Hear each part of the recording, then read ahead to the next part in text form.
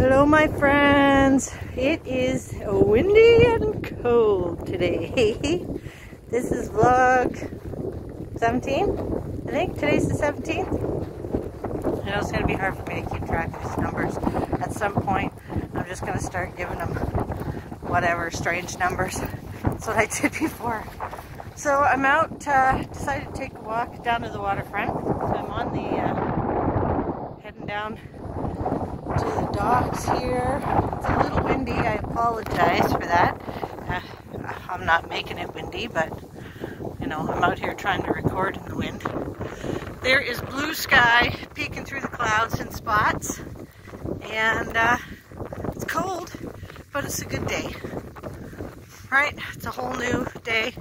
It's a good day. My hand's gonna freeze. Oh, try not to yeah, I got my I got my furry bush hat on. You know it's cold.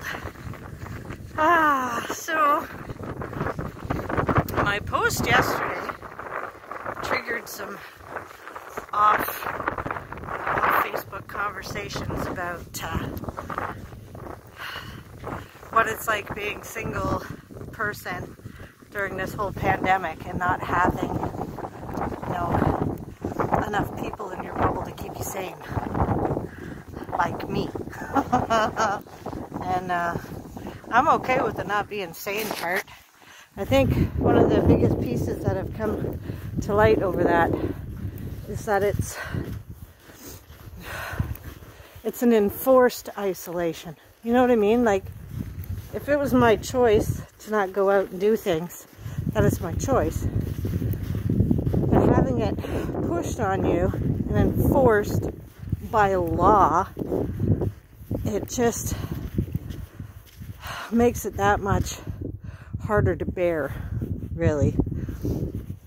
That's pretty much the, the long and short of it because, I mean, pre-pandemic, you know, I mean, I, I socialized um, on my terms when I felt like it, you know.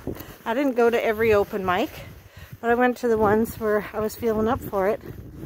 And now, what I wouldn't do and what I wouldn't give for an open mic night. Like, when they open that back up, man, you better be sure I'm going to be there every time. You know? The things you take for granted when, you know, they're taken out of your control.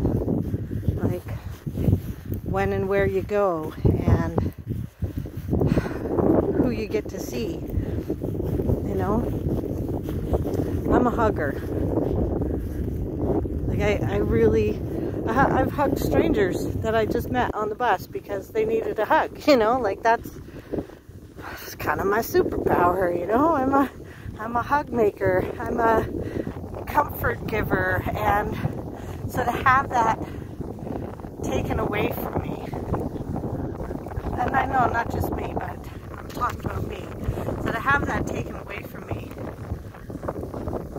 that hurts. That hurts a lot, actually, you know? I saw some friends yesterday walking. Couldn't hug them. You know, a year ago, I had seen them. Oh, they'd all have gotten hugs. Heck yeah.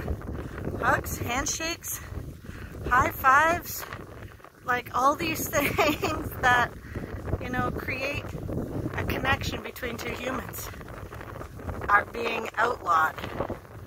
And that's messing with my mind, it's messing with my spirit, it's depleting my energy, especially my creative forces have been sorely depleted.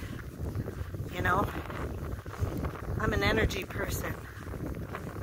If that makes sense, you know, like um, giving and, and receiving energy in these really quite common things of giving somebody a hug or a handshake.